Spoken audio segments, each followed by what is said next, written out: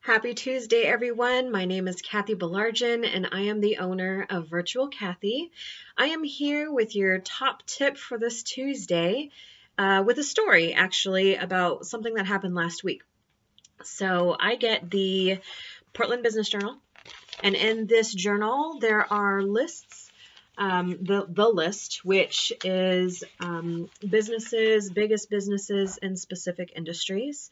And if the industry is one that could potentially be a good referral source for me, I will send uh, everybody on that list a handwritten note and uh, one of my business cards in there.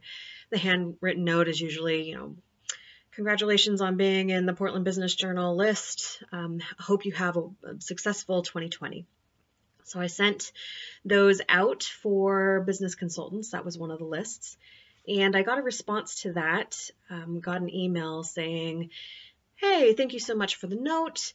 I just wanted to let you know that there is a broken link on your website. Would love to set up a time to chat with you. Here's my scheduling link. And when I saw that, I was like, hmm, I wonder if he's going to try and sell me something, right? Because maybe it's, you know, web development or whatever. But I really appreciated the fact that he acknowledged that he got his note. And whether it was tit for tat, I figured, okay, it's a phone call, it's going to be 20 minutes of my time. Why not? So I scheduled myself a time to talk with him, and I had that conversation last Friday. And it was actually surprising. He did not talk about himself. Um, he was actually genuinely interested in virtual assisting services. So um, I told him that at the end, where I was like, oh gosh, you know what? I, I honestly did not come into this conversation thinking that this was how the conversation was going to go.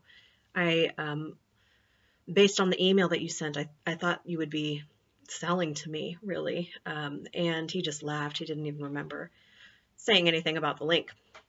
And so your top tip for this Tuesday would be that if you are having um, an interaction with somebody who may be looking to, I don't know, if they're coming across as that they're trying to sell something to you, if you can have a conversation, a short conversation or a Zoom call, 15, 20 minutes of your time, it may be worth taking that um, versus like a coffee date and an hour of your time.